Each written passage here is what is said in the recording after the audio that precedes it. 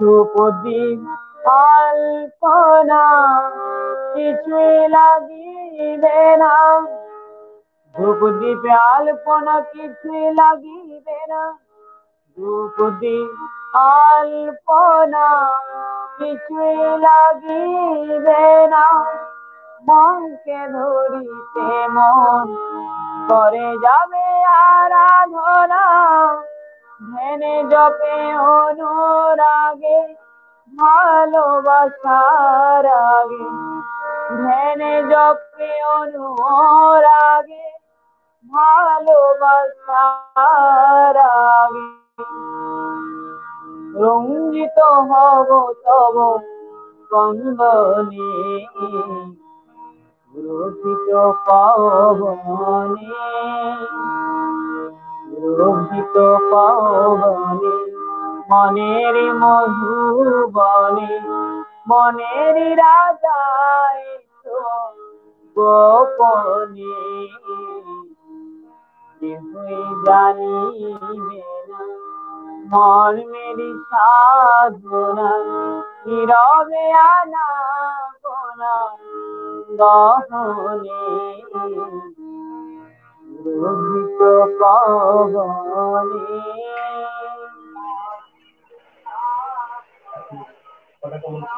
नमस्कार।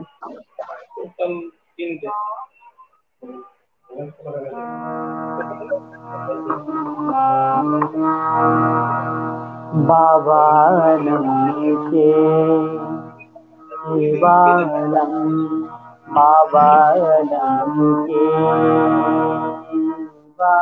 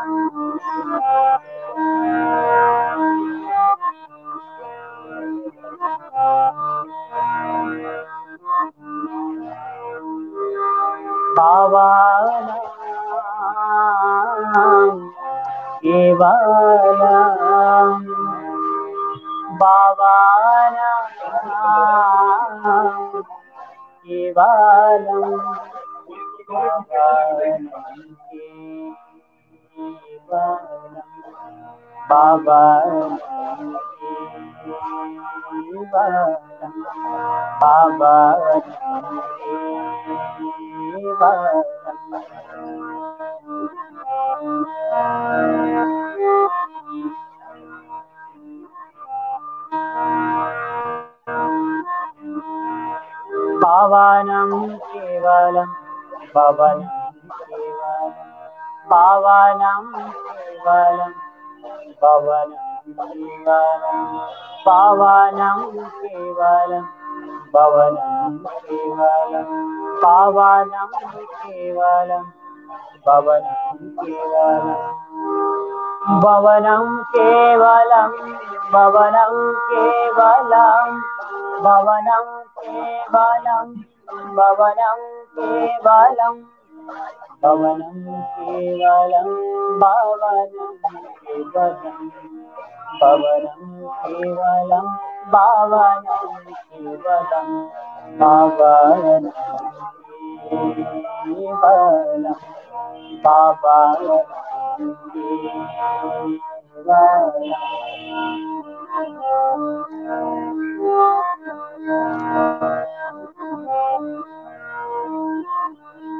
भावानां केवलं भवनं भावानां केवलं भवनं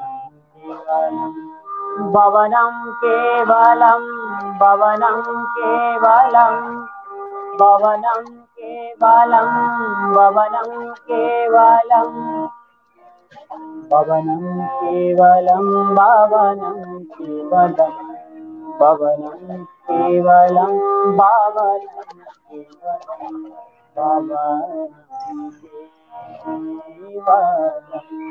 पावनं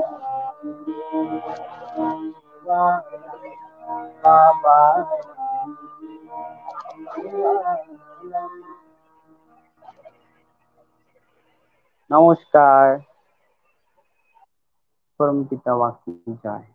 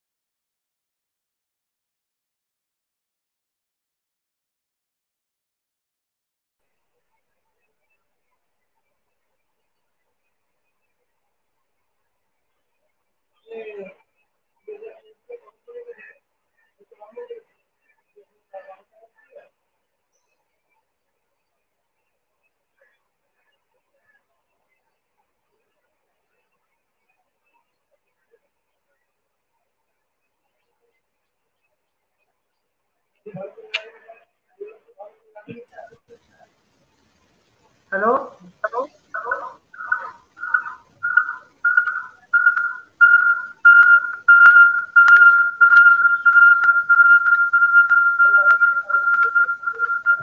শুনতে পাচ্ছেন? হ্যাঁ। হ্যাঁ?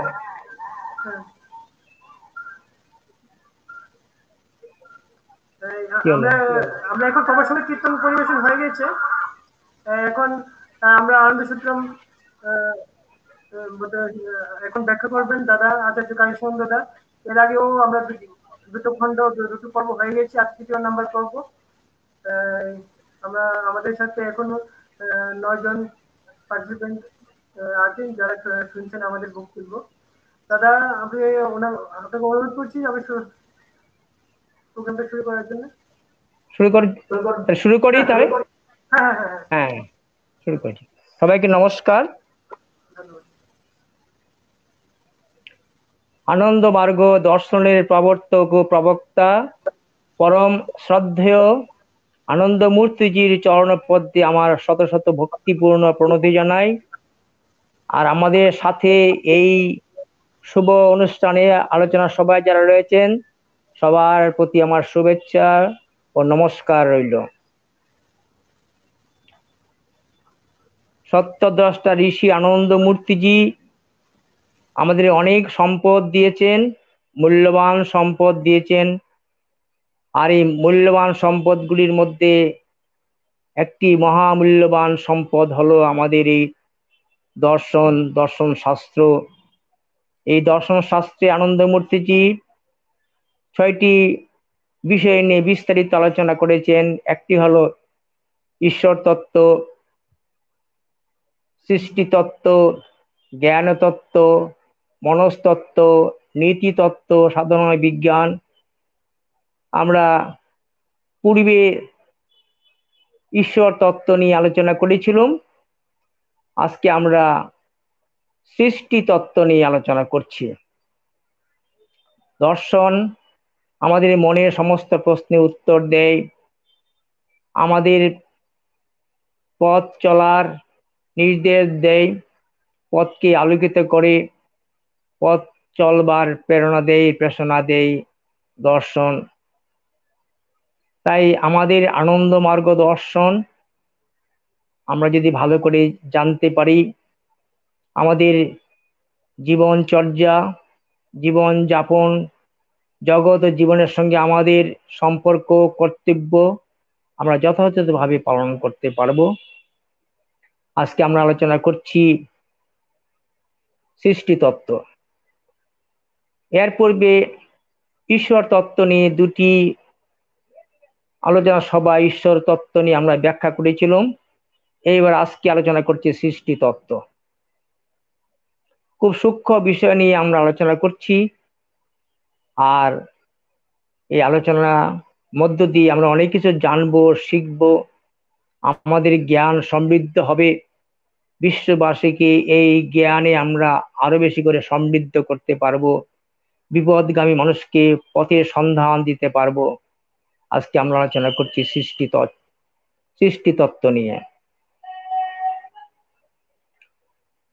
বিশ্ববিজ্ঞানী বিশ্ব বন্দিত বিজ্ঞানী নিউটন বিশ্ব বন্দিত বিজ্ঞানী নিউটন তার থার্ড লতে বলেছেন every action has its equal and opposite action প্রতিটি কর্মের সম প্রতিকর্ম রয়েছে। প্রতিটি কর্মের সম প্রতিকর্ম রয়েছে। যে যেমন কর্ম করবে, সে তেমন ফল পাবে। আর এই যে বিজ্ঞানের এই যে সত্য প্রতিটি কর্মে সম প্রতিকর্ম রয়েছে। এটা ভারতবর্ষের দর্শনের মধ্যে রয়েছে। আজ থেকে প্রায় সাড়ে তিন হাজার বছর পূর্বে পরম পুরুষ শ্রীকৃষ্ণ বলেছিলেন, কর্মণ্যে বাদিকরস্তু মা ফলেশু কদাচন। অবশ্যমেব ভক্তিব্যম কৃতম কর্ম শুভাশুভম। ভারতবর্ষের দার্শনিক যারা ছিলেন বিজ্ঞানী তারা বলে গেছেন অবশ্যমেব ভক্তিব্যম কৃতম কর্ম শুভাশুভম শুভ অশুভ যে কর্ম তুমি করো না কেন, তার ফল ভোগ করতে হবে। তাই কর্ম করার পূর্বে তুমি কি কর্ম করবে ঠিক করো। শ্রীকৃষ্ণ বলেছেন, কর্মণ্যে বাধিকরস্তে মা ফুলেশ কর্মণ্যে বাধিকরস্তে মা ফুলেশু কদাচন। কর্মে তোমার অধিকার রয়েছে, কিন্তু ফলে তোমার অধিকার নেই। কেন? কর্ম যখন করেছ, ফল তুমি পাবে ফলের জন্য ভাবতে হবে না। তুমি কি কর্ম করবে সেটা ভাবো। বিজ্ঞানী বলছেন যে প্রতিটি কর্মের সম প্রতিকর্ম রয়েছে।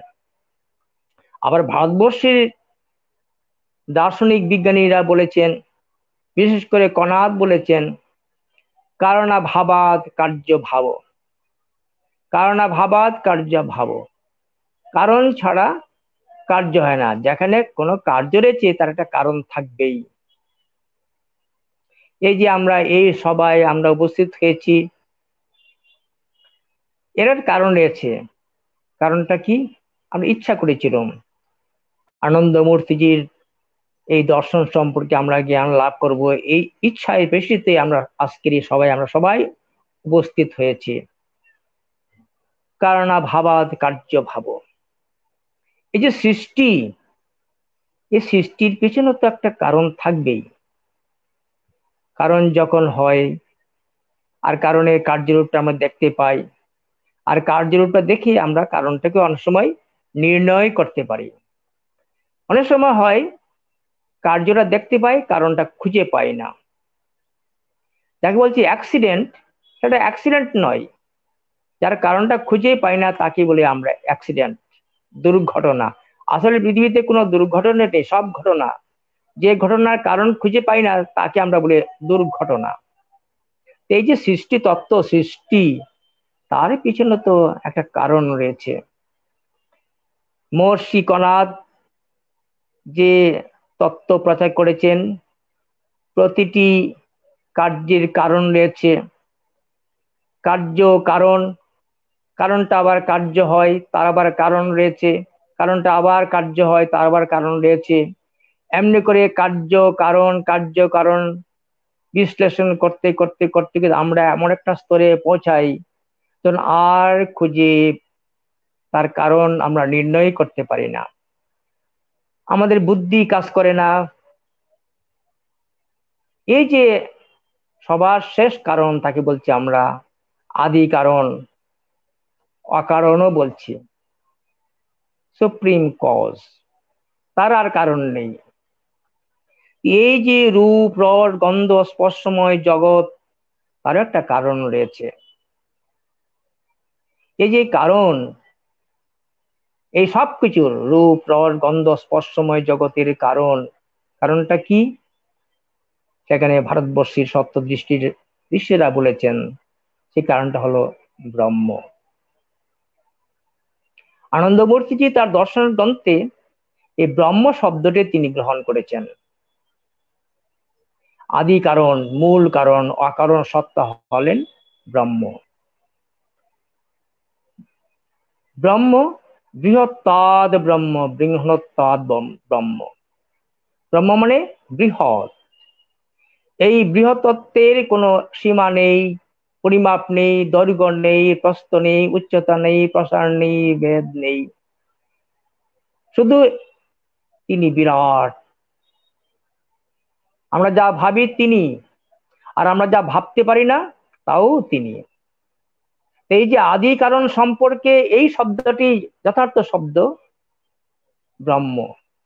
অন্য কোনো শব্দে এই আদি কারণকে হ্যাঁ ব্যাখ্যা করা যাবে না, ব্রহ্ম। আর এই ব্রহ্ম সম্পর্কে আনন্দমূর্তিজি বলেছেন। তিনি হলেন নিমিত্ত কারণ। তিনি কারণ, নিমিত্ত কারণ। তিনি সৃষ্টির আদি কারণ। তিনি সৃষ্টি করছেন আর তিনি সৃষ্ট হচ্ছেন। তিনি কারণ, তিনি সৃষ্টি করছেন, তিনি সৃষ্ট হচ্ছেন। তাই সব কিছুর মূলে তিনি, তাই আনন্দ মার্গ দর্শন হলো অদ্বৈতবাদীর উপর নির্ধারিত, আধারিত। অদ্বৈতবাদী দর্শন। একেশ্বরবাদী দর্শন। অদ্বৈতবাদী দর্শন। অদ্বৈতবাদ। তিনি এক অদ্বিতীয়। সে যে ব্রহ্মের ব্যাখ্যা দিতে গিয়ে আনন্দমূর্তিজি তার আনন্দ সূত্রম গ্রন্থের প্রথম অধ্যায়ের প্রথম সূত্রেই বলেছেন শিব সকতাত্মক ব্রহ্ম। এ আদি কারণ ব্রহ্ম এই ব্রহ্ম সম্পর্কে আনন্দ মূর্তিজি তার আনন্দ সূত্রম গ্রন্থের প্রথম অধ্যায়ের প্রথম সূত্রে বলেছেন, শিব সকতাত্মক ব্রহ্ম। শিব ও শক্তির সমবায়িক রূপ হলো ব্রহ্ম। শিব উপাদান কারণ আর শক্তি নিমিত্ত কারণ। শিব হলেন কগনিটিভ প্রিন্সিপল আর শক্তি অপারেটিভ প্রিন্সিপল আর শিব ও শক্তি সম্পর্কে আনন্দ মূর্তিজি বলছেন যুক্তির খাতিরে আমরা দুটি শব্দ ব্যবহার করছি, শিব ও শক্তি। বাস্তবে শিব ও শক্তি অভিন্ন। যেমন এক খণ্ড কাগজের প্রথম পৃষ্ঠা, দ্বিতীয় পৃষ্ঠা। আমরা বলি প্রথম পৃষ্ঠা, দ্বিতীয় পৃষ্ঠা। কিন্তু প্রথম পৃষ্ঠা থেকে দ্বিতীয় পৃষ্ঠাকে, দ্বিতীয় পৃষ্ঠা থেকে প্রথম পৃষ্ঠাকে কাগজ থেকে আমরা বিচ্ছিন্ন করতে পারি না। অবিনা ভাবে যেখানে শক্তি রয়েছেন, সেখানে শিব রয়েছেন, শিব যেখানে আছেন, শক্তিও সেখানে রয়েছেন। আর শক্তি, শিব শক্তি দুটি সত্তা নয়, একই সত্তা। আর এই শিব শক্তি মিলেই হলেন ব্রহ্ম। শিব, পুরুষ, আত্মা। শিব, পুরুষ, আত্মা, সমর্থক। শিব পুরুষ, আত্মা সমর্থক। আর শক্তি ও প্রকৃতিও সমর্থক। যা শক্তি, তাই প্রকৃতি। প্রকরতি ইতি প্রকৃতি। আনন্দ মার্গ দর্শনে আনন্দ মূর্তিজি বলেছেন, এই যে প্রকৃতি, ত্রিগুণাত্মিকা ত্রিগুণাত্মিকা প্রকৃতি, তিনটি গুণের সমাবেশ, তিনটি গুণ হলো সত্য রজ তম। যেখানে সত্য সেখানে রজ, যেখানে রজ, সেখানে তম থাকবে। এই তিনের গুণে, তিনটি গুণে, গুণ মানে বার্নিং ফোর্স গুণ মানে এখানে কোয়ালিটি নয় বার্নিং ফোর্স বদবার ক্ষমতা। টেন্ডেন্সি বলতে পারি আমরা। এই ত্রিগুণাত্মিকা প্রকৃতির তিনটি গুণ সত্য, যা সত্তার মধ্যে অস্তিত্ব বোধ জাগিয়ে তোলে। রজ ক্রিয়াশীলতার প্রতীক আর তম যা বস্তু রূপ পরিগ্রহণ করে। এই সত্য, রজ, তম। এই তিনটে গুণের সমবায় হলো প্রকৃতি। এই তিনটি গুণ অনন্তকাল ধরে কালাতীতে চলছে। অনন্তকাল ধরে কালাতীতে ছুটে চলেছে। আর এই তিনটি গুণ সবসময় হলো ক্রিয়াশীলা, আবার সংঘর্ষ পরায়ণ সংঘর্ষশীল, সব, সবসময় সংঘর্ষে লিপ্ত। যেখানে সত্য রয়েছে, সেখানে রজ থাকবে রজ রয়েছে, সেখানে সত্যও থাকবে। সত্য, রজ, তম, তিন গুণের সমবায় হলো প্রকৃতি। আর পুরুষ। আনন্দমার্গ দর্শনে ব্রহ্মকে দুটি অবস্থায় ভাগ করা হয়েছে। দুটি ব্রহ্ম নয়, ব্রহ্মের দুটি অবস্থার ব্যাখ্যা দেওয়া হয়েছে। দুটি অবস্থার কথা বলা হয়েছে। একটা হলো ব্রহ্মের নির্গুণ অবস্থা, ব্রহ্মের সগুণ অবস্থা। নির্গুণ অবস্থা তখনও বলি, যখন যখন পুরুষ প্রকৃতি এই তিনটি গুণের প্রভাবের মধ্যে রয়েছেন, তখন তাকে বলছি সগুণ ব্রহ্ম। আর যখন পুরুষ প্রকৃতির প্রভাব মুক্ত, তাকে বলছি নির্গুণ। ত্রিগুণাত্মিকা প্রকৃতির প্রভাব মুক্ত পুরুষ ভাবকে আমরা বলছি নির্গুণ ব্রহ্ম। আর প্রকৃতির এই সত্য, রজ, তম তিনটি গুণের প্রভাবে প্রভাবিত পুরুষকে বলছি সগুণ ব্রহ্ম। সগুণ ব্রহ্ম, নির্গুণ ব্রহ্ম, ব্রহ্মের দুটি অবস্থা। প্রশ্ন আসে না যে সগুণ ব্রহ্ম সাকার না নিরাকার? অনেকে প্রশ্ন করে থাকেন, সগুণ ব্রহ্ম, নির্গুণ ব্রহ্ম, নিরাকার, অনন্ত, ঠিকই আছে। আর সগুণ ব্রহ্ম সাকার না নিরাকার, না সগুণ ব্রহ্ম নিরাকার। অনন্ত জলরাশির মধ্যে যদি মনে করা হয়, ভাবা হয়, অনন্ত জলরাশি, অনন্ত জলরাশির মধ্যে তাপমাত্রার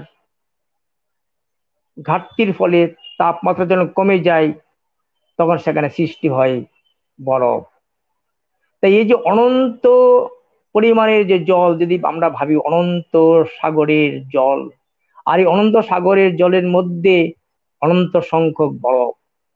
সেখানে উপনিষদে বলেছে পূর্ণ পূর্ণমদ, পূর্ণমিদং, পূর্ণাৎ, পূর্ণমুদচ্যতে পূর্ণস্ব পূর্ণমেবাবশিষ্যতে পূর্ণমদ, পূর্ণমিদং, পূর্ণাৎ, পূর্ণমুদচ্যতে পূর্ণস্ব পূর্ণমাদয়, পূর্ণমেবাবশিষ্যতে।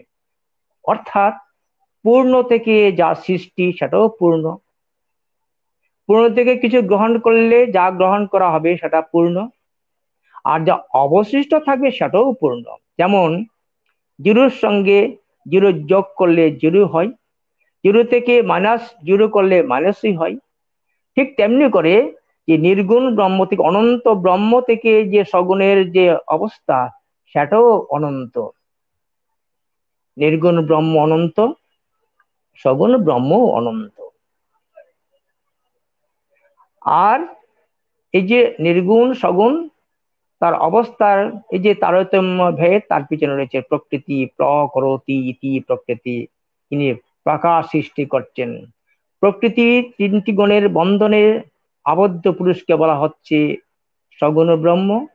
আর প্রকৃতির তিনটি গুণের প্রভাবের থেকে যে পুরুষ মুক্ত, তাকে বলছেন নির্গুণ ব্রহ্ম।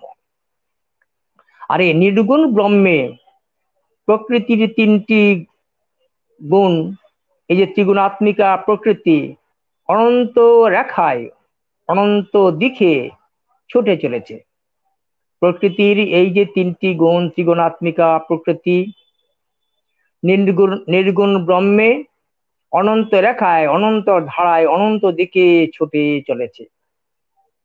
তাদের সমতা যখন বিঘ্নিত হয়, তাদের সমান্তরতা সমতা যখন বিঘ্নিত হয়, তখন এই যে রেখাগুলি মিলে অনেকগুলি বহুভুজ, অষ্টভুজ, সপ্তভুজ, চতুর্ভুজ নির্মাণ করে। আর আলটিমেটলি তারা ত্রিকোণে, ত্রিকোণাধার ত্রিভুজে রূপান্তরিত হয়। একটা বিশেষ বিন্দুতে যদি দুয়ের অধিক শক্তি ক্রিয়াশীলা থাকে তখন সেটা ত্রিভুজ আকৃতি গ্রহণ করে। তাই যে বহুভুজগুলি অষ্টভোজ, সপ্তভুজ ভোজ, এই প্রকৃতি শেষ পর্যন্ত ত্রিভুজে রূপান্তরিত হয়। এই যে ত্রিভুজ, ত্রিগুণাত্মিকা সৃষ্টি মাতৃকা অশেষ গুণধারা। এই যে সৃষ্টি মাতৃকা তাকে বলা হচ্ছে সৃষ্টির মাতৃকা সৃষ্টি। আনন্দ সূত্রমে আনন্দ মূর্তিজি চতুর্থ খণ্ডে সেটা বলেছেন ত্রিগুণাত্মিকা সৃষ্টি মাতৃকা অশেষ ত্রিগুণ ধারা এই যে ত্রিগুণাত্মিকা সৃষ্টি ধারা সেই অনন্ত অনন্ত নির্গুণ দেহে অনন্ত ত্রিভুজ তৈরি হয়েছে। এই ত্রিভুজের মধ্যে যখন সমতা নষ্ট হয়ে যায়, তখন তখন ত্রিভুজ ত্রিকোণের একটা কোণ থেকে সৃষ্টি ধারা বেরিয়ে আসে। এই যে ত্রিকোণ, ত্রিভুজ ত্রিভুজের মধ্যে তখন পরম পুরুষ পুরুষ বন্ধনে আবদ্ধ করলেন তাকে বলা হচ্ছে সগুণ পুরুষ। আর এই আনন্দমূর্তিজি আবার বলেছেন, সগুণা সৃষ্টির উৎপত্তি। সগুণ ব্রহ্ম থেকে সৃষ্টি সৃষ্টি শুরু হয়েছে। সগুণ ব্রহ্ম থেকেই সৃষ্টি হলো এই যে সৃষ্টির দুটি ধারা একটা হলো ক্রম বিবর্তন পরিবর্তন। পরম পুরুষ এক থেকে বহু হচ্ছেন, আবার তিনি বহু থেকেই আবার এক হচ্ছেন। সৃষ্টির প্রথম ধারাতে তিনি সূক্ষ্ম থেকে স্থূল হচ্ছেন, আর দ্বিতীয় ধারায় তিনি স্থূল থেকে আবার সূক্ষ্মত্বের পথে যাচ্ছেন। এই যে যেখানে সৃষ্টি রয়েছে, সেখানে শিব রয়েছে শক্তি রয়েছে। পুরুষে রয়েছে প্রকৃতি রয়েছে।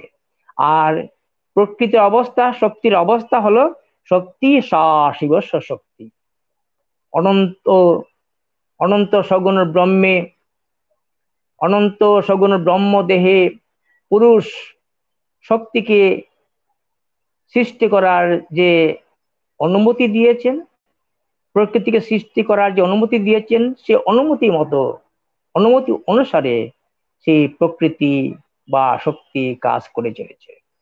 এই যে প্রকৃতি আর পুরুষ, শিব ও শক্তি, এই শিব ও শক্তি সঞ্চরে প্রতি সঞ্চরে তাদের অস্তিত্বকে তারা প্রমাণ করছেন।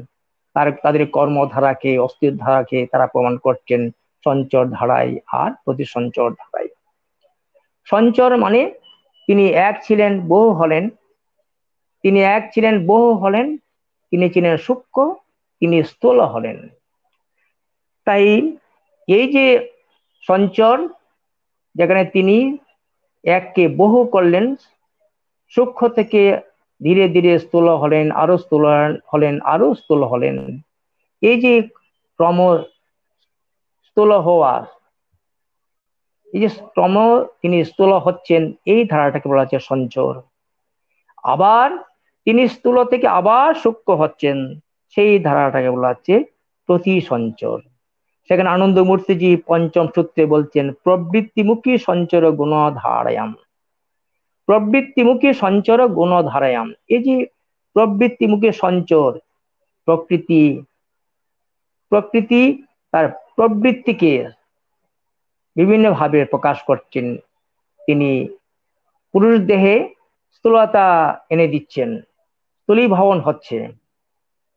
সেই যে পুরুষ, পুরুষের মধ্যে যখন সত্যগুণের প্রভাব সৃষ্টি হয়, পুরুষের মধ্যে যখন সত্যগুণের প্রভাব সৃষ্টি হলো, আমি পূর্বেই বলেছি, সত্যগুণের স্বভাবটাই হলো অস্তিত্ব নির্মাণ করা, অস্তিত্ব সৃষ্টি করা, অস্তিত্ব বোধক। তাই পুরুষের মধ্যে সত্যগুণের প্রভাবের ফলে পুরুষের মধ্যে যে ভাবটা এলো, তাকে আমরা বলছি দর্শনের ভাষায় মহত্তত্ত্ব। সত্যগুণের পরে রজগুণের ক্রিয়াশীলতার ফলে পুরুষ দেহে আবার একটা ভাব এলো। আমি আছি, আমি করছি। আমি আছির পেছনে সত্যগুণের প্রভাব, আমি করছি তার পেছনে রজগুণের প্রভাব সত্যগুণ রজগুণ। এবার সত্যগুণের ফলে আমি আছি, আর রজগুণের ফলে আমি করছি, আর তমগুণের ফলে আমি সৃষ্ট হচ্ছি, রূপ পরিগ্রহ করছি। এই যে আমি আছি, দর্শনের ভাষায় তাকে বলছে মহত্তত্ত্ব, আর এই মহত্তত্ত্বের মধ্যেই সৃষ্টি হচ্ছে অহম তত্ত্ব প্রকৃতির রজগুণের ফলে, রজগুণের প্রভাবের ফলে। আর এই যে প্রকৃতির অহম তত্ত্ব, অহম তত্ত্বের মধ্যে তমগুণের প্রভাবে সৃষ্টি হলো চিত্ত তত্ত্ব। এই বোমা মহৎ আমি বলছি যাকে, বোমা অহম, বোমা চিত্তকে নিয়ে হলো বোমা মন। এই ভোমা মন আরও প্রকৃতির এই প্রভাবের ফলে, বিশেষ তমগুণের প্রভাবের ফলে ভোমা মন চিত্ত চিত্ত স্থূল হতে হতে আরও স্থূল হলেন।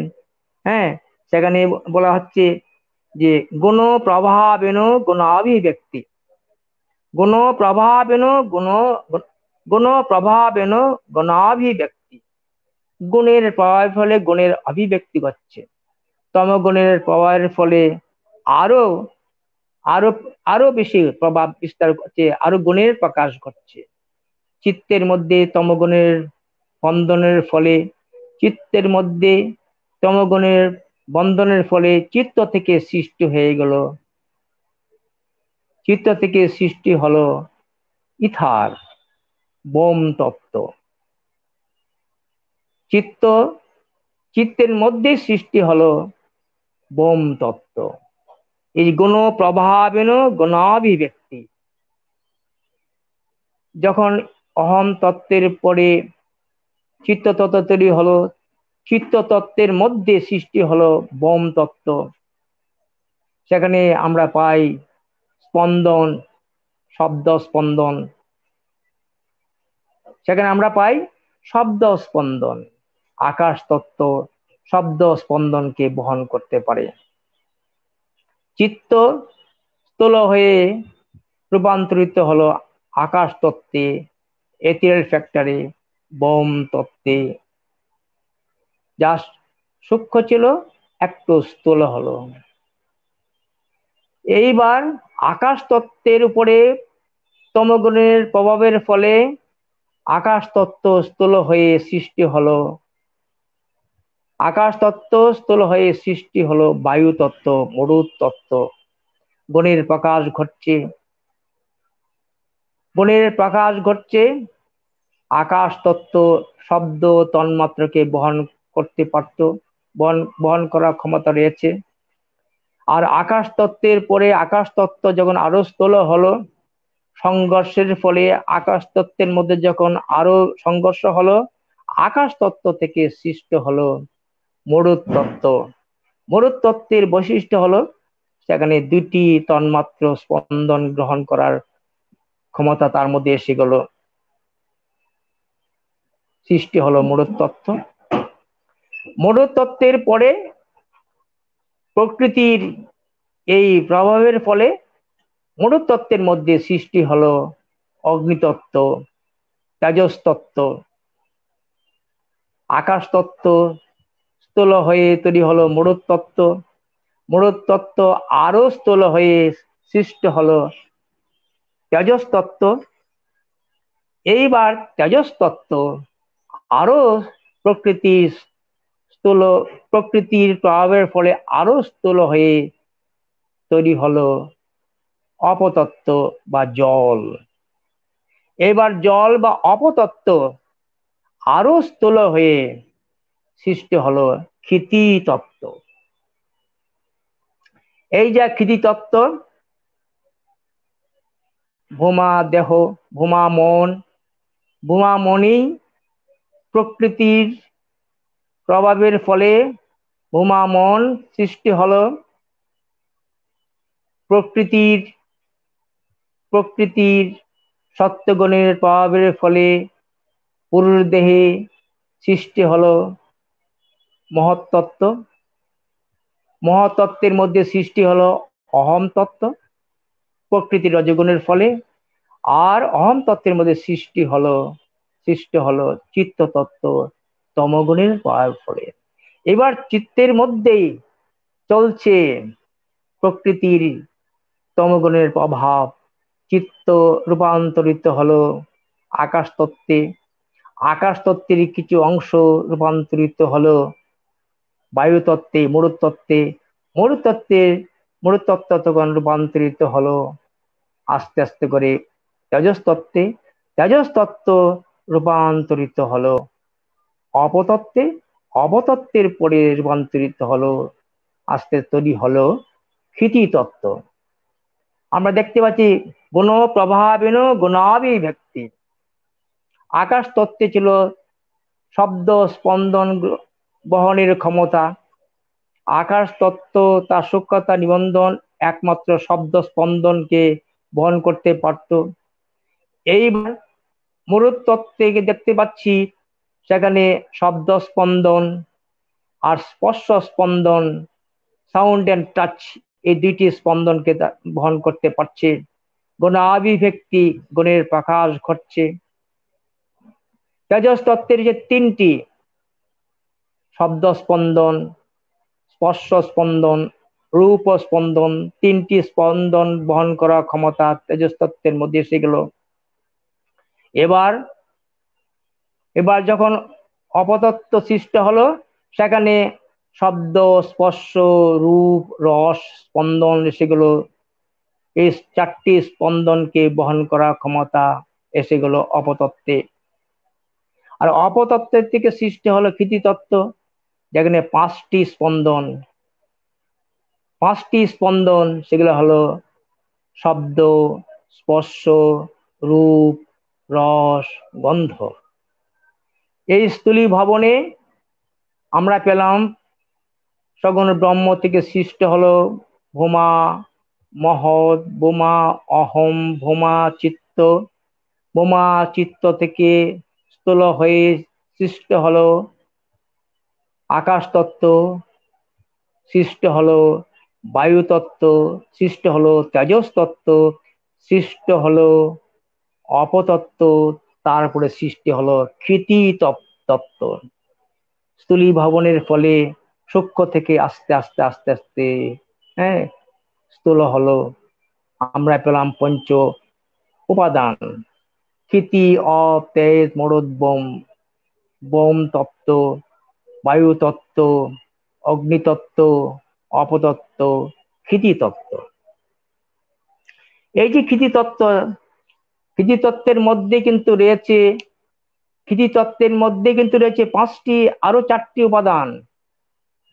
ক্ষিতি তত্ত্বের মধ্যে রয়েছে অপ রয়েছে অগ্নি রয়েছে, বায়ু রয়েছে, আবার রয়েছে আকাশ তত্ত্ব ক্ষিতি তত্ত্বের মধ্যে রয়েছে। এখানে আনন্দমূর্তিজি তার প্রথম অধ্যায়ের এগারো নম্বর সূত্রে বলছেন, দেহ কেন্দ্রিক কেন্দ্রিকানি পরিণাম ভূতানি বলানি প্রাণা।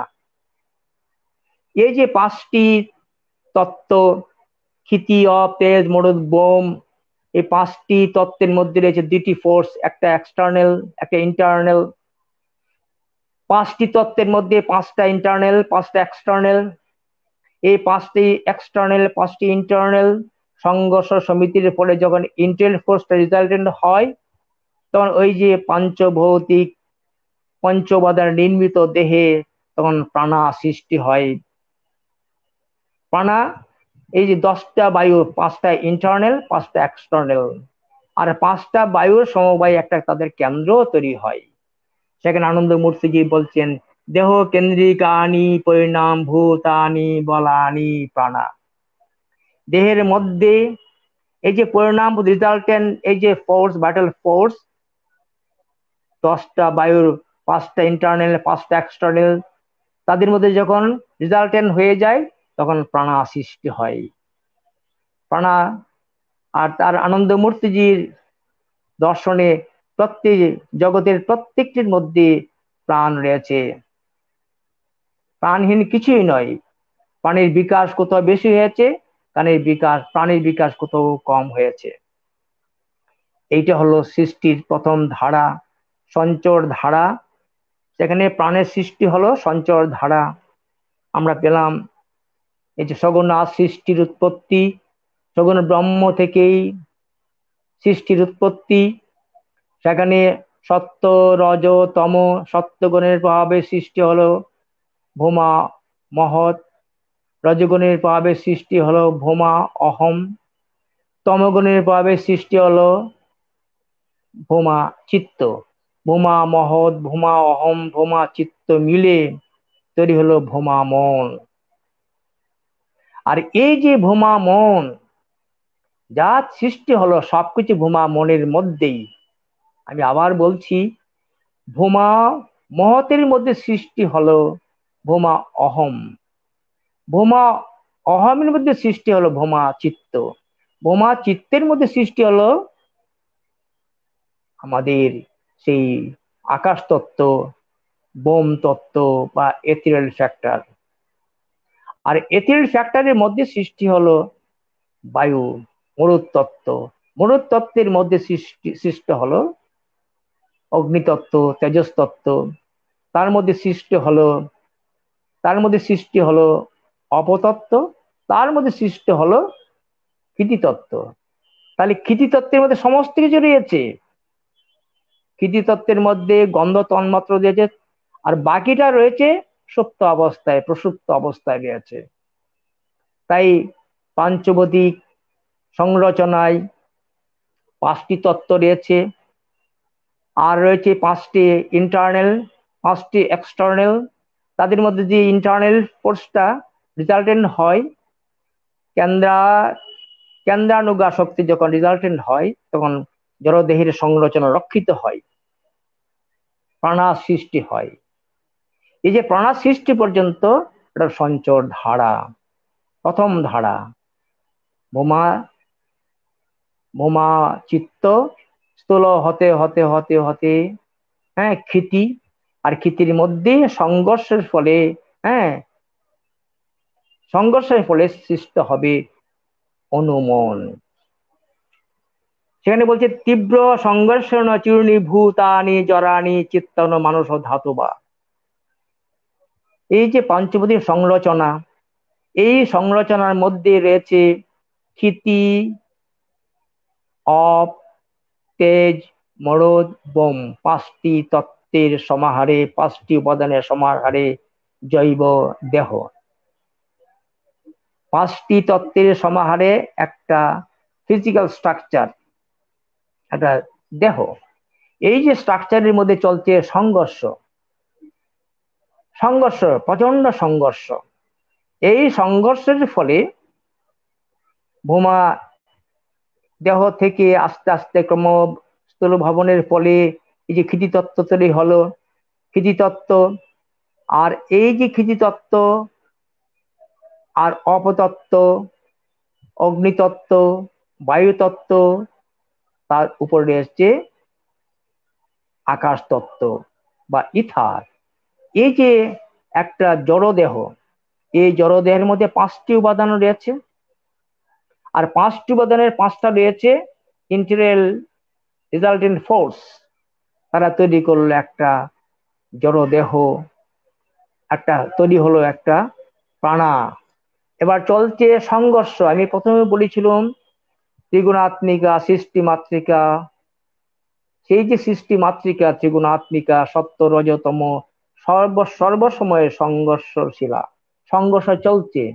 এই যে জৈব সংরচনার সংঘর্ষ চলছে, এই সংঘর্ষের ফলে জড় সংরচনায়, জড় দেহে যদি কোনো অংশে ইথারের থেকে সূক্ষ্ম কোনো সত্তার সৃষ্টি হয়, এই সূক্ষ্মতম সত্তাকে সূক্ষ্মতম ভগ্নাংশে বলা হচ্ছে চিত্তানু আনন্দমূর্তিজি তার বারো নম্বর সূত্রে বলছেন তীব্র সংঘর্ষণ চূর্ণী ভূতানি জরানি, চিত্তান মানুষ ধাতুবা।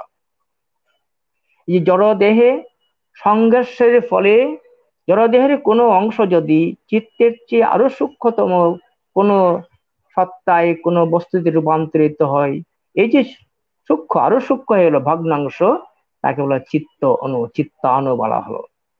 তীব্র সংঘর্ষণ চূর্ণী ভূতানি জরানি, চিত্তানু মানুষ ধাতুবা। এখানে মন তৈরি হলো। এখানে আনন্দময় দর্শনের বৈশিষ্ট্য। বিজ্ঞানীরা বলে থাকেন, ম্যাটার থেকে, জড় থেকে মনের উৎপত্তি। আনন্দমার্গ দর্শন বলা হচ্ছে জড় থেকেই মনের উৎপত্তি। কিন্তু এই জ্বর কোথা থেকে এসেছে? এই জ্বরের উৎপত্তি হলো ভূমা মন। এই ভূমা মন থেকে জ্বরের উৎপত্তি আর এই জ্বর থেকেই অনুমনের সৃষ্টি। ভূমা মন থেকে পঞ্চভৌতিক উপাদান সৃষ্ট হলো। আর এই যে পঞ্চভৌতিক উপাদান জড় জড় থেকে সংঘর্ষের ফলে সৃষ্টি হলো মন। সেখানে আনন্দমূর্তিজি তার তেরো নম্বর সূত্রে বলছেন, বেষ্টি দেহে চিত্তান সমবায়ন চিত্তবোধ। বেষ্টি সমবায়ন এই যে জড় সংরচনায় জড় দেহের বিভিন্ন স্থানে চিত্তাণু সৃষ্টি হতে পারে। চিত্তের অনু চিত্তাণু সৃষ্টি হতে পারে। আর সমস্ত কিছু, সমস্ত চিত্তাণু মিলে হলো চিত্তবোধ। চিত্তবোধ, যা বস্তুর রূপ পরিগ্রহণ করে। তেরো নম্বর সূত্রে তিনি বলছেন, বেষ্টি দেহে চিত্তাণু সমবায়ন চিত্তবোধ। চিত্তবোধ, চিত্ত বস্তুর রূপ পরিগ্রহণ করছে। এই যে চিত্ত, সেটা তম প্রধান। বস্তু রূপ পরিগ্রহণ করছে। আমরা যে, এই যে যা দেখতে পাই, শুনতে পাই, গন্ধ, স্পর্শ, স্বাদ, এই যে অনুভূতি অনুভূতি হয় আমাদের এই চিত্তে। চিত্তেই বস্তু রূপ পরিগ্রহণ করে। চিত্ত যদি বস্তুর রূপ পরিগ্রহণ না করে তাহলে বস্তুর অভিজ্ঞতা আমাদের আসবে না। আমাদের কোনো অভিজ্ঞতা হবে না, অনুভূতি আসবে না। যে চিত্তই এই সমস্ত বস্তুর ভাব পরিগ্রহ করে, অনুভূতি। এই যে রূপ, রস, গন্ধ, স্পর্শ, এই যে স্পন্দন রয়েছে, এই স্পন্দন মতো চিত্ত রূপ পরিগ্রহণ করে। চিত্ত হলো তম প্রধান চিত্ত তোমার প্রধান। আমি পূর্বেই বলেছি, ত্রিগুণাত্মিকা প্রকৃতি। যেখানে সত্য, সেখানে রজ, যেখানে রজ, সেখানে তম। কোথাও রজ প্রধান কোথাও সত্য প্রধান কোথাও তম প্রধান।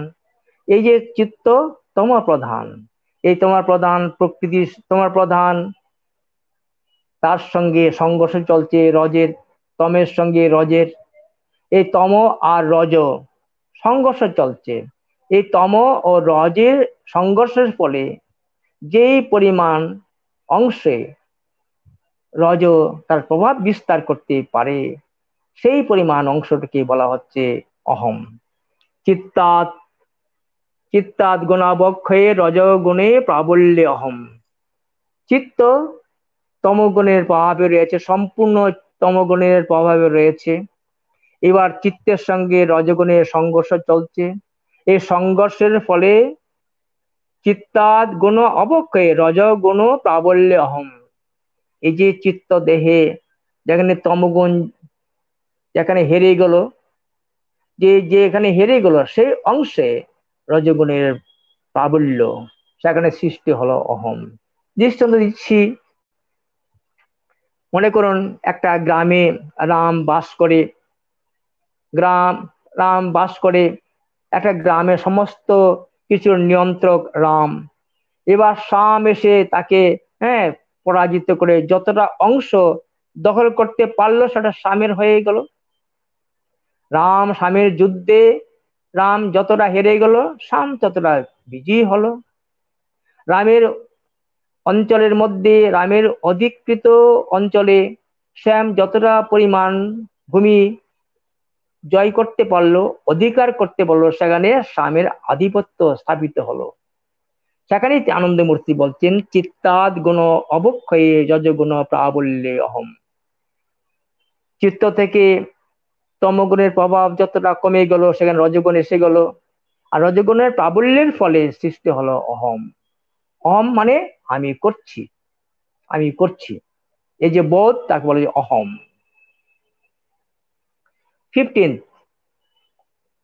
প্রথম অধ্যায়ের পনেরো নম্বর সূত্রে আনন্দমূর্তিজি বলছেন আনন্দ সূত্রে মেয়ে সুখাভিমুখিনী গতিরোদয়ে অহম তত্তাৎ মহৎ। এবার ধারাটা কি? প্রথম ধারাটা ছিল সূক্ষ্ম থেকে স্থল, এক থেকে বহু। এবার ধারাটা রিটার্ন জার্নি এবার আস্তে আস্তে করে স্থূল থেকে সূক্ষ্মত্বের পথে যাচ্ছে। যাত্রাটা সূক্ষ্ম, সূক্ষ্মের দিকে যাত্রাটা রিটার্ন জার্নি শুরু হলো। চিত্তর প্রধান মন, সেখান থেকে সৃষ্টি হলো অহম। সূক্ষ্মাভিমুখিনী গতিরোদয়ে অহম তত্তাৎ মহৎ। এই যে এবার সংঘর্ষ চলছে, সংঘর্ষের ফলে এই যে অহম তত্ত্ব, তারপরে মহৎ তত্ত্ব এসে গেল। এই মহৎ তত্ত্ব যে পরিমাণ, ভূমি জয় করতে পারল অধিকার স্থাপন করতে বলো সেখানে তৈরি হলো মহৎ। তাই এই যে অনুমন সে অনুমানের মধ্যে সৃষ্টি হলো চিত্ত, সেখানে সৃষ্টি হলো অহম, সেখানে সৃষ্টি হলো মহৎ। চিত্ত, অহম, মহৎ। যেখানে অহম মহৎকে মহতের চেয়ে ছোট, মহতের থেকে কম সেখানে অহম? চিত্ত অহম। অহমের পরিমাণটা যদি কম হয়, চিত্তের পরিমাণ যদি বেশি হয়, সেখানে অহম যথার্থভাবে চিত্তকে নিয়ন্ত্রণ করতে পারে না। যেমন মানুষের অহম্বোধ। আর একটা একটা কুকুরের অহম্বোধ। বা বিড়ালের অহম্বোধ। গন্ধ পেলে, কোনো খাবার দেখতে পেলে কুকুর ছুটে যায়, বিড়ালও ছুটে যায়। মানুষ ভাবে কিছুটা যে এখন যাওয়া ঠিক বা ঠিক নয়। মানুষের অহম্বোধের দ্বারা সে ঠিক করে ভাবে যে এখন যাব কি যাব না। আর বিড়াল যখন খাবার দেখতে পায়, ছুটে চলে যাবে।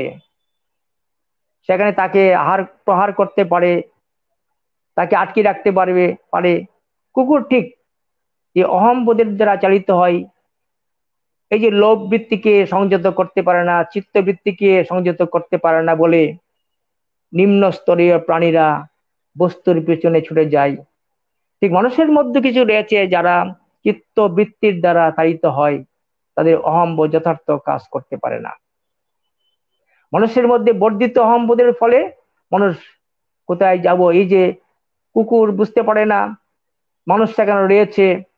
মানুষ থাকা সত্ত্বেও চলে যাবে, কি রান্না করে চলে যায়, বিড়াল চলে যায়। বিড়াল চলে গেলে কি হয়? সেখানে প্রহার খায়, কুকুরও পায়। মানুষ যায় না, মানুষ বুঝে না গেলে প্রহরিত, প্রহিত হব। অহম্বোধের বুঝতে পারে। তাই নিম্ন শ্রেণির প্রাণীর মধ্যে শুধু রয়েছে চিত্ত, উন্নত প্রাণীর মধ্যে রয়েছে অহম আরও উন্নত প্রাণীর মধ্যে রয়েছে মহৎ। এই চিত্ত বস্তু রূপ পরিগ্রহণ করে অহম কর্তৃত্ব বোধ আমি করছি, মহৎ আমি আছি আমি আছি, মহৎ আমি করছি অহম আমি রূপ পরিগ্রহণ করছি, সেটা হল চিত্ত।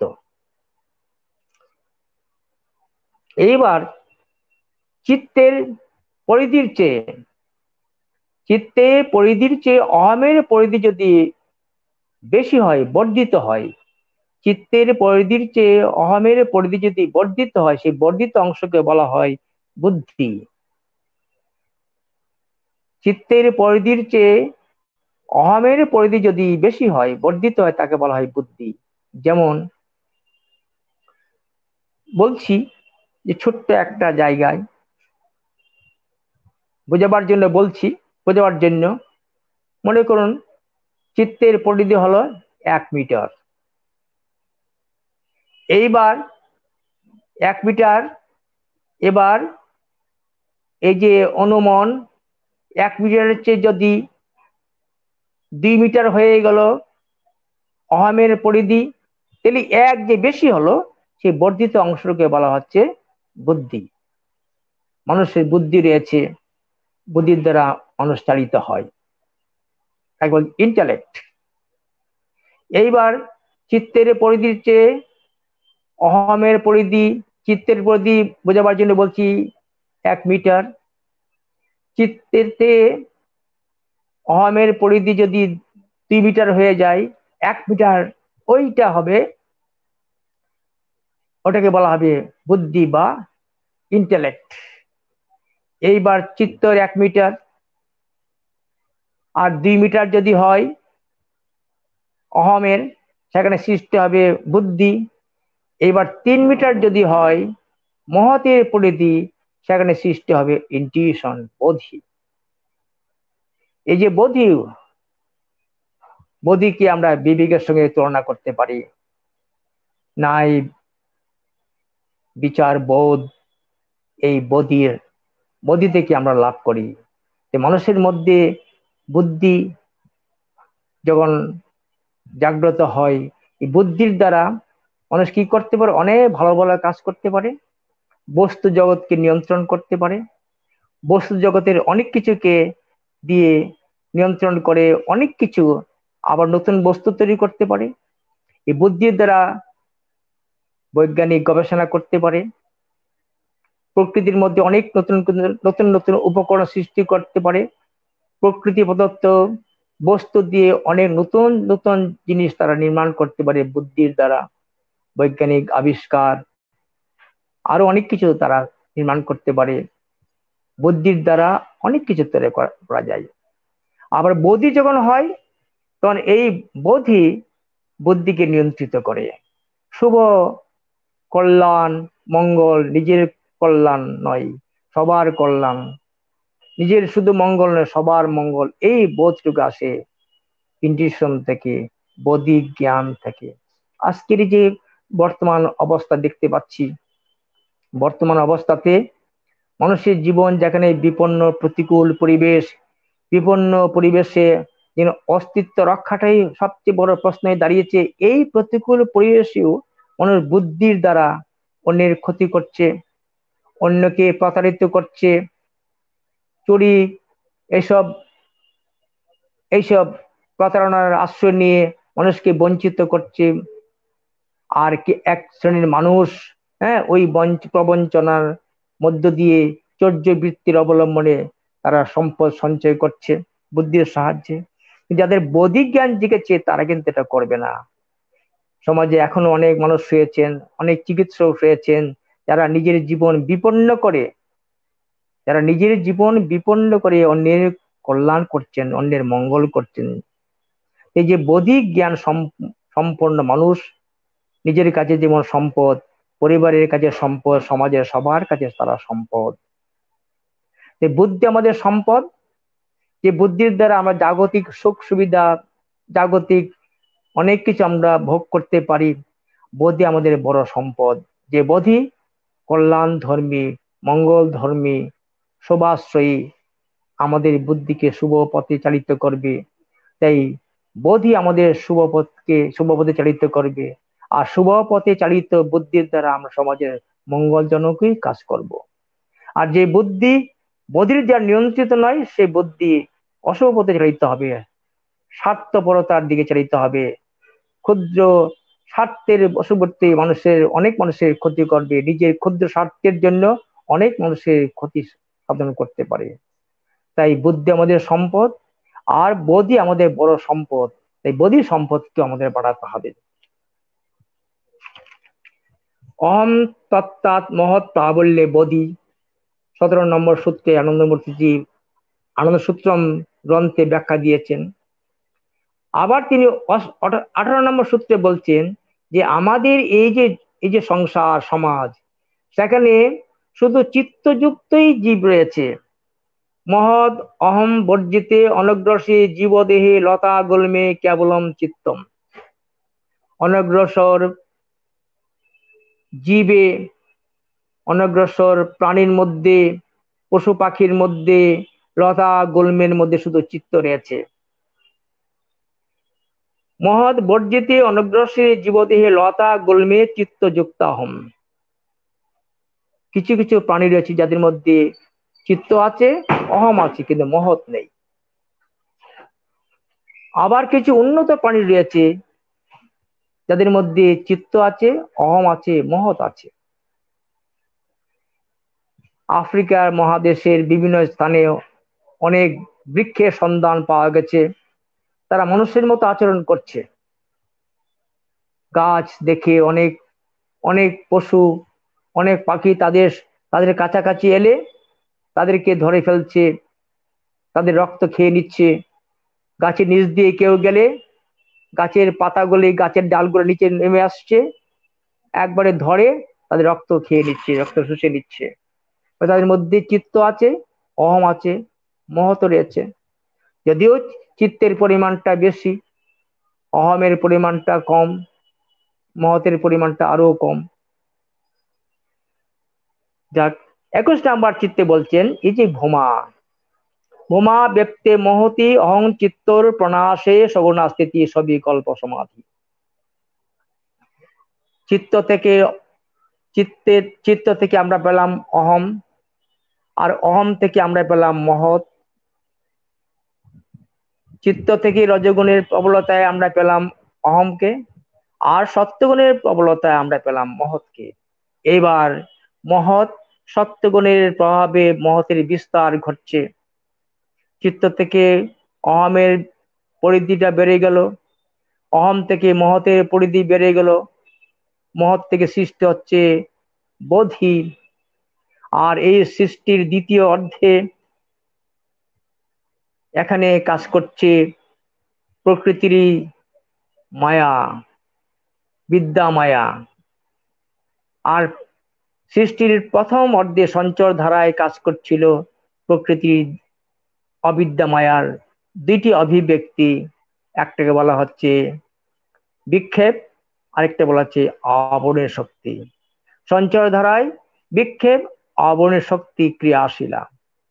আর প্রতি সঞ্চর ধারায় বিদ্যা মায়ার, বিদ্যা শক্তি দুটি অভিব্যক্তি, একটা হলো সম্বিত আর একটা হলো আল্লাহ দিনী সম্বিত শক্তি যখন জাগ্রত হয় মানুষের মধ্যে, তখন মানুষ ভাবে, এই যে এসেছি, খেয়ে, পরে বংশবৃদ্ধি করে মনে যাওয়ার জীবনের লক্ষ্য নয়। জীবনে একটা পরম লক্ষ্য রয়েছে। সে পরম লক্ষ্য ঈশ্বরকে জানতে হবে। মুক্ত কাঙ্ক্ষিয়া সদগুরু প্রাপ্তি মুক্ত কাঙ্ক্ষিয়া সদগুরু প্রাপ্তি, মুক্তির আকাঙ্ক্ষা যখন তীব্র থেকে তীব্রতর হয়, তখন এই প্রকৃতির সত্যগুণ গুরুর সন্নিকটে তাকে নিয়ে যায়। আর গুরুর কৃপায় গুরুর সন্নিকটে তার ধর্ম দীক্ষা হয়। দীপক জ্ঞানম যত দত্তাত দীপক জ্ঞান লাভ হয়, অর্জিত সংস্কারের ক্ষয় হয়। গুরু তাকে দীক্ষা দেন, তাকে দিবক জ্ঞানে তার পথ চলার পথকে আলোকিত করেন গুরু তাকে পথ দেখান, পথে চলবার ক্রিয়া কৌশল বলে দেন, পথে চলবার প্রেরণা যোগান গুরু। আর গুরুর নির্দিষ্ট পথে, নির্দিষ্ট পথ তার প্রদর্শিত সাধনা পদ্ধতি যখন সাধক অনুশীলন করে, অভ্যাস করে, তখন তার মধ্যে জেগে ওঠে হ্যাঁ ভক্তি। এই মহৎ ভক্তির লক্ষণ। এই মহৎ যখন আরও বিস্তারিত হয়, আস্তে আস্তে ভক্তি ভক্তি মানে পরম পুরুষের প্রতি আকর্ষণ। এই জগৎ, এই জগতে সবকিছুর মধ্যে আকর্ষণ রয়েছে। একটা আকর্ষণ বলছি আর বলছি বিকর্ষণ।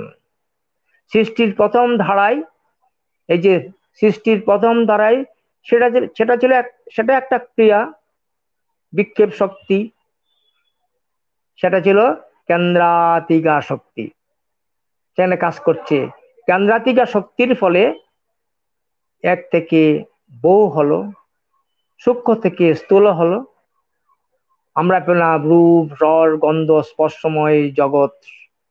বহু ভাবে, বহু রূপে, বহু ভাবে আমরা এই সুন্দর শব্দ, স্পর্শময়, গন্ধময় এই পেলাম, পৃথিবী পেলাম। এবার প্রকৃতির রিটার্ন জানের প্রতি সঞ্চর প্রতি সঞ্চর ধারায় সেখানে কাজ করছে বিদ্যামায়ের দুটি শক্তি একটা সম্বিত আল্লাহ দিনী ফিরে যাবার পালা। সেখানে প্রথম পর্যায়ে ছিল তমগুণ প্রধান, তমগুণ প্রধানা, আর দ্বিতীয় অর্ধে সেখানে সত্যগুণ প্রধানা।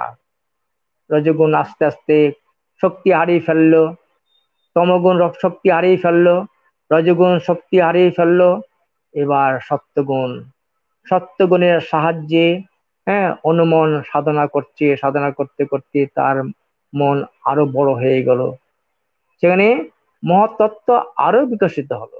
এই যে মহত্তত্ত্ব যখন যখন সেই প্রকৃতির, যখন সে ভূমা, ভূমাতে যখন রূপান্তরিত হয়ে গেল অনুমহৎ যখন বোমা মনে রূপান্তরিত হলো। সেটাকে বলা হচ্ছে সগুণা স্থিতি সবিকল্প সমাধি। অনুমহৎ যখন বোমা মহতে মিশে গেল, সেই যে অবস্থা, তাকে বলা হচ্ছে সগুণা স্থিতি সবিকল্প সমাধি। এই সবিকল্প সমাধি কখন হয়? মন যখন অনন্তের সাধনা করছে, অনন্তের সাধনা করতে করতে অনন্ত ভাবের সঙ্গে যখন অনন্ত এই যে তার যে অনন্ত প্রবাহ চলছে কসমিক ফ্লো কসমিক কনসাসনেস অনন্ত চৈতন্য প্রবাহ চলছে। এই অনন্ত চৈতন্য প্রবাহের সঙ্গে ভৌমা মনের সঙ্গে যখন অনুমনের সমান্তরতা অনুমনের ছন্দ, অনুমনের প্রবাহ, অনুমনের স্পন্দন যখন ভোমা স্পন্দনের সঙ্গে মিশে এক হয়ে গেল, অনুমনের যে স্পন্দন, অনুমনের যে প্রবাহ, অনুমনের চিন্তা, স্পন্দন যখন ভোমা স্পন্দনের সঙ্গে, অনুমনের ধারা যখন ভোমা ধারার সঙ্গে, অনুমনের প্রবাহ যখন ভোমা প্রবাহের সঙ্গে মিশে গেল, তখন অনুমনের সঙ্গে ভোমামনের রূপান্তরণকে বলা হচ্ছে সগুণা স্থিতি সবিকল্প সমাধি। অর্থাৎ ভোমামন অনন্তের চিন্তা করছে। অনন্তের চিন্তা করতে করতে অনন্তের ভাবনা যখন ভাবিত হয়ে গেল, সেই যে অবস্থা, তাকে বলেছে সগুণ স্থিতি। ক্ষণিকের জন্য যে অবস্থা, তাকে বলে সগুণ স্থিতি। আর যখন এটা পার্মানেন্ট হবে তখন তাকে বলা হচ্ছে মুক্তি। এর সেটা কখন হয়? অনুমন যখন ভোমার চিন্তা করে, ভোমার চিন্তা করতে ভোমার ভাবে ভাবিত হয়, ভোমার স্পন্দনে স্পন্দিত হয়। সেই অবস্থায় অনুমনের যে অনুমনের যে সমান্তরাল, অনুমন আর ভূমা মনের যখন সমান্তরালতা। অনুর মানস্পন্দন, ভূমার মানস্পন্দনের সঙ্গে যখন সমান্তরলতা প্রতিষ্ঠিত হয়, সে অবস্থাকে বলা হচ্ছে সগুণাস্থিতি বা সবিকল্প সমাধি। এই সবিকল্প সমাধি এটা ক্ষণিকের জন্য হতে পারে, আবার স্থায়ী হতে পারে। ক্ষণিকের জন্য যখন হয় এটা সাময়িক আর যখন স্থায়ী হয় তাকে বলা হচ্ছে মুক্তি। ভূমা ব্যক্তি মহতি অং চিত্তর প্রণাশে সগুণাস্থিতি সবিকল্প সমাধি। তাকে বলছে সবিকল্প সমাধি। আর সবিকল্প সমাধি যখন পার্মানেন্ট হয়, তাকে বলা হচ্ছে মুক্তি। আত্মনি মহৎ প্রণাশী নির্গুণা স্থিতি নির্বিকল্প সমাধি। এবার ভূমা মন যখন হ্যাঁ ভূমা, এবং অনুমন যখন ভূমা মন নয় ভূমা চৈতন্যের সঙ্গে মিশে গেল। অনুমন যখন ভূমা চৈতন্যের সঙ্গে মিশে গেল, তাকে বলছে নির্বিকল্প সমাধি। আর নির্বিকল্প সমাধি যখন পার্মানেন্ট হয়, তাকে বলা হচ্ছে মুখ্য। আর এই যে মুখ্য লাভ মুখ্য লাভ তৈশ্য স্থিতি অমানসিক এই যে অবস্থাটা মান- মানুষের মন ব্যাখ্যা করতে পারে না। এই যে নির্বিকল্প সমাধির অবস্থাটা কেমন? মানুষের মন সেখানে সে অবস্থার ব্যাখ্যা দিতে পারে না। কেননা সেখানে মানুষের মনের লয় হয়ে যায়। স্থিতি অমানসিক নির্বিকল্প সমাধি অবস্থায় মনের কি অবস্থা হয়, মানুষ ব্যাখ্যা দিতে পারে না। আর কি করে ব্যাখ্যাটা দিয়ে? তার প্রমাণটা নির্বিকল্প সমাধি হয়েছিল, তার প্রমাণটা সেখানে বলা আছে, চব্বিশ নম্বর সূত্রে বলা আছে, অভাব উত্তরানন্দ প্রত্যয়ালম্বনের বৃত্তি তস্য প্রমাণম। অভাব উত্তরানন্দ প্রত্যয়ালম্বনের বৃত্তি তস্য প্রমাণম। এই যে সমাধি অবস্থার পরে, সমাধি অবস্থার পরে একটা আনন্দের মূর্ছনা তার শরীর মনকে আবিষ্ট করে রাখে। এই আবিষ্ট অবস্থায় সাধক বুঝতে পারে তার পূর্বে অবস্থা ছিল একটা আনন্দ ঘন অবস্থা। নির্বিকল্প অবস্থা ছিল একটা আনন্দ ঘন অবস্থা।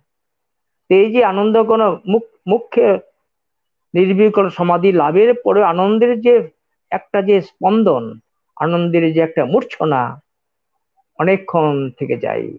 সাধকের যখন নির্বিকল্প সমাধি ভঙ্গ হয়, আনন্দের রেসটা থেকে যায়। ওই রেসটা থেকে প্রমাণিত হয় যে পূর্বের অবস্থা মানে সমাধি অবস্থা, সে আনন্দ কোন অবস্থায় এসেছিল। তাই বলা হচ্ছে, অভাব উত্তরানন্দ প্রত্যয়ালম্বিনী বৃত্তি তস্য প্রমাণ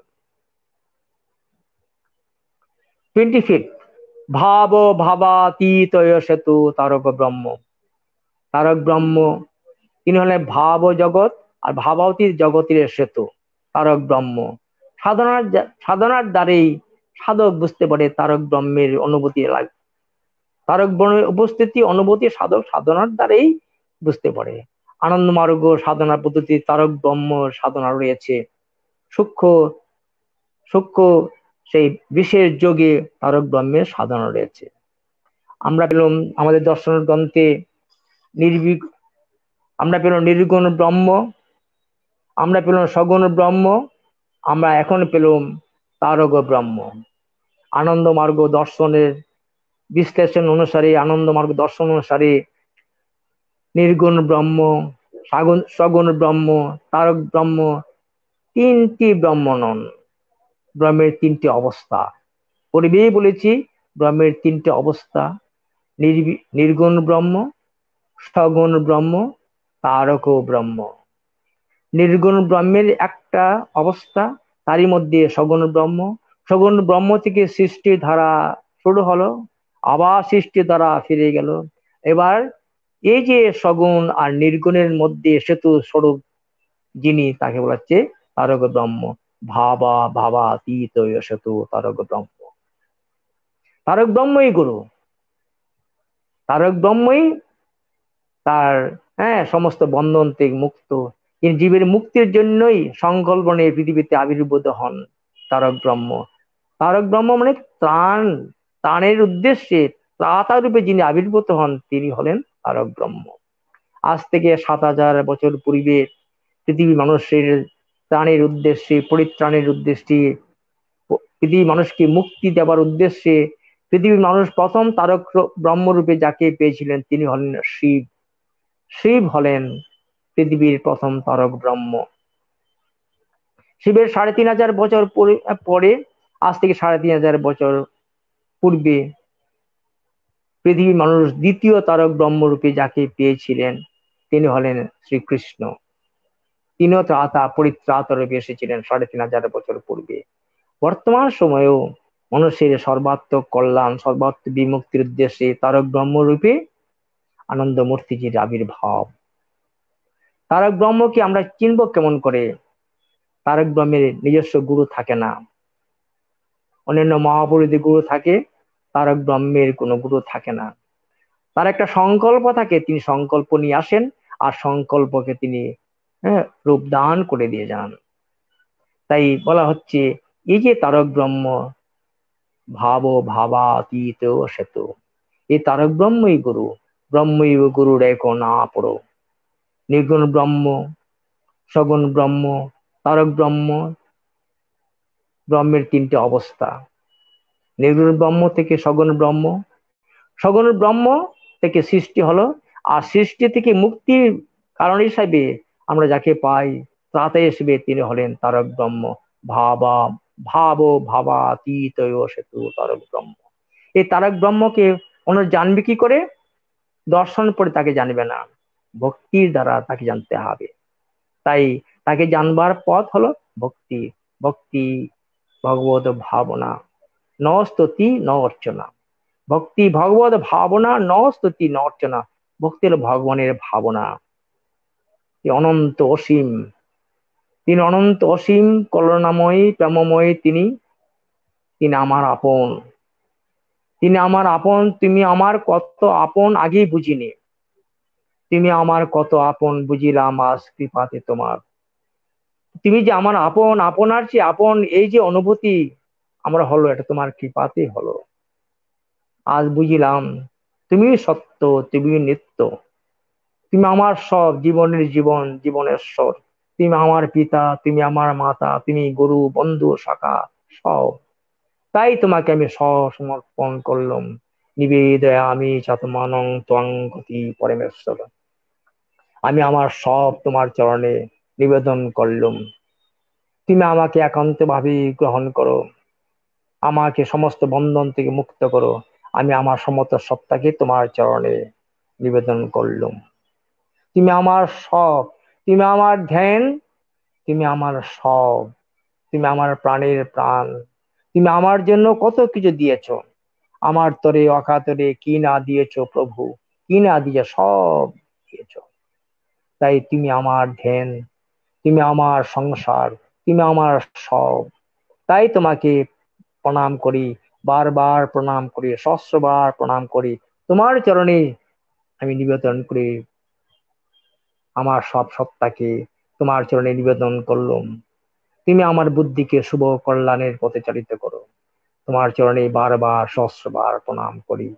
তোমাকে জন্য আমি স্মরণ করি, তোমাকে জন্যই আমি মনে করতে পারি, তুমি আমার সব, তুমি আমার দ্রষ্টব্য, তুমি আমার বক্তব্য, তুমি আমার গন্তব্য, তুমি আমার পরম ত্রাতা প্রিয়, তুমি আমার সব। তোমার চরণে বারবার প্রণতি জানাই। নিবেদয়া আমি চাপ মানব গতি পরমেশ্বর। সংক্ষিপ্ত ভাবে সৃষ্টি তত্ত্ব, জটিল তত্ত্ব, আমি আমার সীমিত ক্ষমতায়, আমি সীমিত ক্ষমতা বলব না, আমার অক্ষমতার দ্বারা আমার ইচ্ছার বশবর্তী হয়ে এই সৃষ্টি তত্ত্বকে ব্যাখ্যা করলুম। আর এই সৃষ্টি তত্ত্ব সম্পর্কে বাবা বিভিন্ন গ্রন্থে বিভিন্ন সময়ে আরও বিস্তৃত আলোচনা করেছেন, সেগুলি আপনারা যদি পড়েন, সেগুলা পাবেন আপনারা। আনন্দ বচনামৃতম সৌভাগ্য সংগ্রহ, তত্ত্ব কৌমদি। আমরা পাবেন ভাব ভাবাতীত। এই যে দর্শন গ্রন্থে নমামি কৃষ্ণ সুন্দরম, নম শিবায় শান্ত গ্রন্থে এই সৃষ্টি তত্ত্ব সম্পর্কে আরও সূক্ষ্ম সূক্ষ্ম ব্যাখ্যা বাবা দিয়েছেন, সেগুলো আপনারা পড়তে পারবেন। বাবা, করুণাময় বাবা, দর্শন দিয়েছেন। আর এই দর্শনে তিনি ছটা বিষয় নিয়ে আলোচনা করেছিলেন। ঈশ্বর তত্ত্ব সৃষ্টি তত্ত্ব আমরা আলোচনা করেছি। তারপর আলোচনা করব মনস্তত্ত্ব জ্ঞান তত্ত্ব নীতি তত্ত্ব আলোচনা করব সাধনা বিজ্ঞান। পরম পুরুষ তারক ব্রহ্ম আনন্দ মূর্তিজি। তার অনন্ত প্রেম, অনন্ত মমত্ব বোধ নিয়ে অনেক অনেক সম্পদ আমাদের দিয়েছেন। তার সর্বশ্রেষ্ঠ সম্পদ হলো এই দর্শন। যে দর্শন আমাদের পথ দেখাবে। ধাতু অনর্তত্ত্ব করে যে শব্দ পায় দর্শন, তা আমাদের পথ দেখাবে, পথকে আলোকিত করবে, আমাদের পথ চলার প্রেরণা জগবে সেই দর্শন। এই দর্শন আমাদের জানতে হবে। আর বিশ্বের মানুষ আজকে দিশে হারা তারা বিপদগামী কত ভ্রান্ত অন্ধকারে নিবজ্জিত কত দুঃখ, কষ্ট, ব্যথা, বেদনা, মানুষের কত কষ্ট। তাই এই কষ্ট, দুঃখ, লাঞ্ছিত, পীড়িত, মানবতা মুক্তির স্বাদ পাবে, মুক্তির আলো পাবে যদি আমরা এই সম্যক দর্শন সবার মধ্যে প্রচার করতে পারি। আর প্রচার করাটা আমাদের কর্তব্য। এই কর্তব্য বোধের তাগিদেই আমার সীমিত ক্ষমতার মধ্যে এই সৃষ্টি তত্ত্ব খুব জটিল এবং খুব সূক্ষ্ম তত্ত্ব আমি সংক্ষিপ্ত ভাবে আলোচনা করলাম। পরবর্তী সময়ে, সময় যদি হয় যদি অনুকূল পরিবেশ থাকে, যদি সময় সম্ভব হয় তখন আমরা আবার বিস্তারিত আলোচনা করব। আর এককভাবে আপনারা এই সব বিষয়ে আমার ফোনে কথা বলতে পারেন, যোগাযোগ করতে পারেন। সবার প্রতি, বাবার প্রতি আমার আমার অনন্ত শ্রদ্ধা, অনন্ত ভক্তি নিবেদন করি। তিনি আমাদের বুদ্ধিকে শুভ ও কল্যাণের পথে চালিত করুন। আপনাদের সবাইকে আমার শুভেচ্ছা, নমস্কার জানিয়ে আজকে আলোচনা সবার এখানেই আমি সমাপ্ত করলাম। নমস্কার। দাদা নমস্কার। নমস্কার। নমস্কার কে? দাদা হৈমন্তী সিনহা। ও হ্যাঁ দেখতে পাচ্ছি না আমি তো। মোবাইলটা ওদিক ঘোরানো আছে ঠিক আছে ঠিক আছে খুব ভালো। মঙ্গল। দাদা করব? হ্যাঁ। Mm-hmm.